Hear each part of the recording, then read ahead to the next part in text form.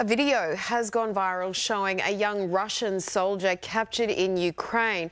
A group of women are seen comforting him and giving him a cup of tea and a pastry. He's then seen calling his mum. The young prisoner of war blows kisses as his mother answers and bursts into tears as soon as he sees her. In a social media post, Ukraine's defence ministry told Russian mothers they can travel to Kiev to take their captured boys home. The statement read, we Ukrainians do not fight mothers and their captive children. This is just one of a number of videos showing Russian soldiers crying, saying they didn't know what they were doing. Let's go now to Dr. Jacob Wallis, who's an expert on propaganda and fake news at the Australian Strategic Policy Institute. Jacob, fighting on the ground is one thing, but there's also an information war going on. Who is winning that?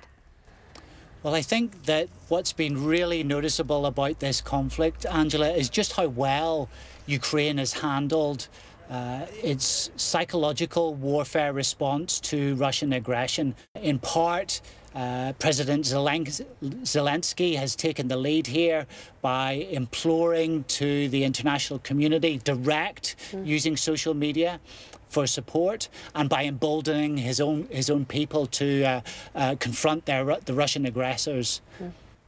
How is Moscow manipulating and filtering information about its invasion of Ukraine? Well, the first point I'd, I'd make there, Angela, is that uh, to describe the content disseminated by Russian state media as information, I think gives it more credit perhaps than it's than it deserves. Uh, Russian state media uh, is designed to disseminate propaganda that, that's been its stock in trade since the Cold War. It's consistently um, presented uh, the Ukrainian um, uh, political elite as uh, being made up of Nazis, despite the fact that President Zelensky is himself Jewish. Mm. Uh, and it presents the, uh, the military conflict, the incursion, as an effort to prevent uh, genocide against ethnic Russians in eastern Ukraine.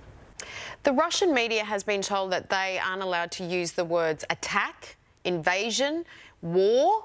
And two days ago, the Russian government took the extraordinary step of restricting Twitter, Facebook, and Instagram. Why is Moscow being so careful about how this invasion is being portrayed within Russia?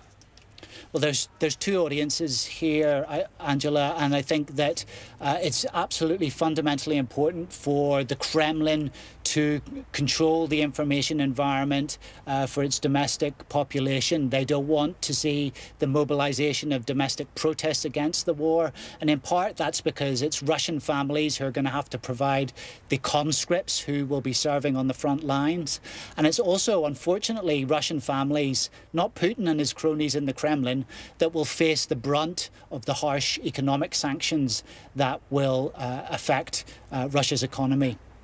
And so we've heard reports, we've seen those videos of these Russian troops um, saying that they were told the people of Ukraine wanted to be liberated. Is, is that what they would be being told? Because they don't know any different in Russia. We saw a powerful exchange from the uh, Ukrainian ambassador at the UN who read, read out uh, text messages between a Russian soldier uh, and his mother. Uh, in which he described the expectation that they would be welcomed into Ukraine, uh, having prevented uh, a genocide of ethnic Russians in the eastern provinces. And this is, of course, uh, a complete fabrication, and uh, the opposition of the Ukrainian people is, is, is, is clear. Wartime propaganda is obviously not new, but social media is. How much has it changed the game? Social media has really changed how states deploy information warfare because we now have a situation where adversaries and strategic competitors have direct reach into the populations of, of their of their opponents. And they can use that reach via social media to shape perception to uh, to influence political outcomes to interfere in elections and to shape the the environment prior to uh, kinetic military conflict. And U Ukraine is a really strong example of that phenomenon because uh, Russian state media, Russian information operations, covert strands of disinformation have been targeting Ukraine for the past decade. Yeah, and they've really, um, especially the president, has really commanded the attention of the world as well with all of the uh, the videos he's been posting. Thank you so much for your expertise and your time tonight, Jacob.